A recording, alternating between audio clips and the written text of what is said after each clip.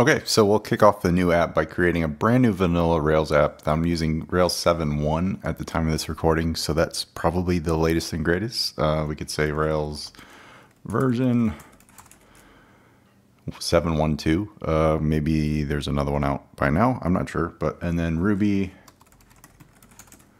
3.1.4. Uh, I think it's up to two two now, but I think that's fine for our purposes. So whatever you're using, make sure it's pretty modern is the main main uh, takeaway there. So in this directory, I, I pretty much just kind of house some tutorial content in there, and I'll run Rails new and then sub Supstacker. Uh, I'm going to call this one demo because I already have one called Supstacker for GitHub that I'll share with you all in the blog post and also the, the video description below if you want to check that out. Okay, this is going to go ahead and create everything that's vanilla with Rails to date. Um, the opinionated way of Rails lately is to not have any kind of bundling for CSS and all of that. Yeah, once Rails installed, I will add my uh, side project that's called Rails UI that kind of does all that stuff for us. Um, you're welcome to just use the vanilla approach. It won't have the bells and whistles as you see in the UI here. Uh, that's one thing that's different in the demo app. So take it with a grain of salt. There are a few additives in Rails UI that just simplify the process here. And it's kind of just solving a pain point I've had when I've done tutorials over the years. So, all right, we'll CD into sub stacker demo. There we go. And um, I'm going to add the gem now. That's Rails UI. So I'm going to do it programmatically. So bundle add Rails UI. We'll go and fetch the repo, which is on GitHub.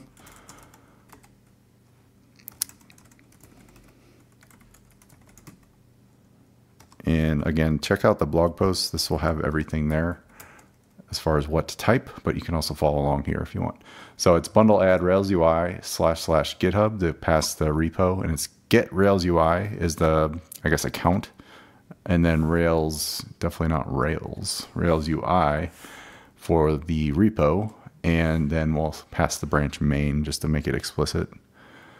Should go fetch that, add it to our gem file from the branch, and to verify if you want to check the gem file, go to gem file here. Very bottom, you should see Rails UI there with the new declaration. Um, Right now, I don't have this on Ruby Gems or anything, so you couldn't just go fetch it and it would find it. It's just on GitHub. Uh, eventually, actually, it'll be probably a private repo that is for sale uh, in some way or fashion, and or I'm not sure how yet it'll work. I got to figure out all the details, but it's kind of like a theming engine, so there might be a per theme for sale gem, something like that. I'm not sure. Anyway, more on that to come in future video probably. Uh, so with that installed, we can actually run the installer that I have. So Rails UI or Rails, Rails UI install. And this is the part that will go and clean up the defaults from the Rails new and rebundle it to use um, the Rails bundling CSS and JS. So a lot in that one little statement, but there's a lot going on there that I just kind of solve with a little command here. This also installs Devise, which is something I, with every new app I've done demos on, it's just a pain to always do the views and stuff that are, you know, the login, sign up, all that stuff. They're just a pain to always do. So this does that for you and kind of establishes a theme based on your selection once Rails UI is configured. So with that done, we can go to our file and essentially just run the server. So I'm going to say bin dev. With the new additions from Rails UI, you can run bin dev. If you're using vanilla Rails, you're probably just going to run Rails server at that point. Then we'll visit localhost and you'll see, hopefully, the front start page, which I've modified. Here's some quick links to everything with Rails UI. Uh, this will expand as time goes goes on, but you can read the docs, which are on railsui.com, or configure your app right away. I default to naming it Rails UI, we'll do it Supstacker and support at supstacker.com.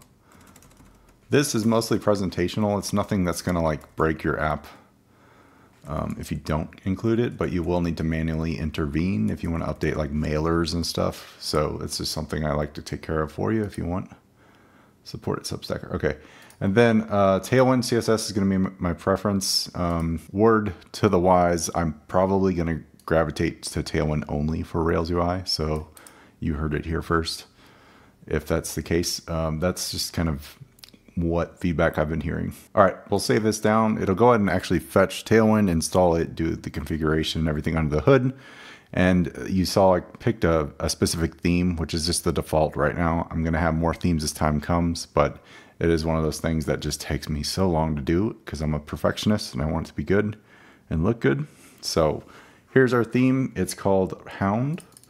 Uh, it's the first theme for Rails UI. You can optionally install these other pages I've designed for you as part of a template or a, a theme itself, or just use the design system that's built in, which we have here. So you get all that stuff baked in.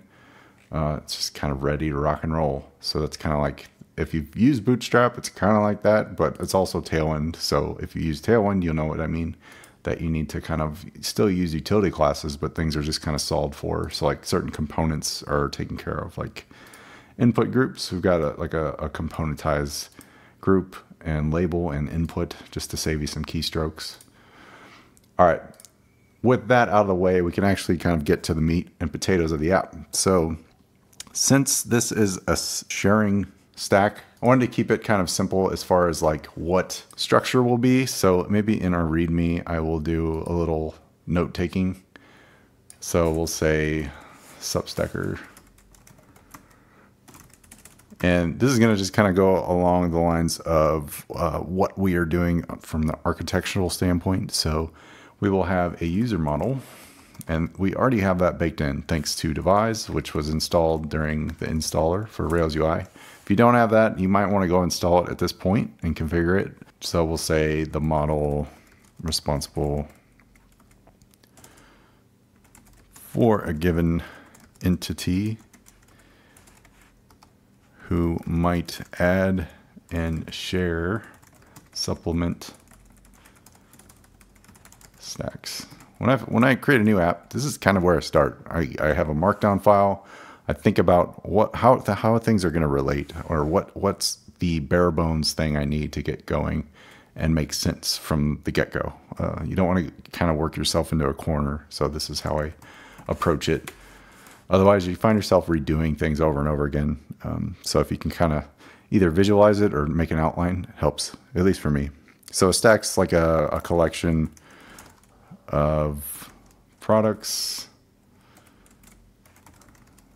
a user can share something like that. Think of it as a container. Then we'll have the product. I kept this generic. You could call it a supplement, but I thought this this app you could probably like clone for other stuff, like I don't know, like pet products, like a whole pet stacker kind of thing. Whatever you give your pet, this gets uh, shared inside a stack has richer data like price, uh, description, title, etc. Cool. And then we have our brand, which is kind of like another, it's more or less a filter kind of. Um, I didn't make heavy use of it in this MVP, but you could totally do so if you added like something like search to filter down products. So the brand of the supplement and there would only be one one brand per supplement. One thing to note that's important is I want a product to belong to many stacks so it can be rinse and reuse. And we only want to have one product in the database.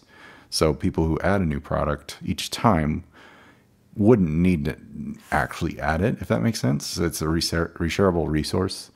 So we'll get into that with the relationships coming up because it's a little more complex than just like a belongs to or a has many kind of scenario. Um, usually through a join table is how that's done. All right, so that's that's it essentially. So we have a user, a stack, a product, and a brand. And of course, you can go way beyond the lengths of this to do more filtering and, and sorting and stuff in your app if you incorporate search. Like um, ratings or uh, manufacturer or origins. I don't know, all that stuff, uh, nutrition facts, kind of those things. I left that out. That's plenty to expand upon if you wanted to down the line. I think we'll stop the video there. The next video, I'll do the relationship um, and generating of resources. So I'll look forward to that and see you in it.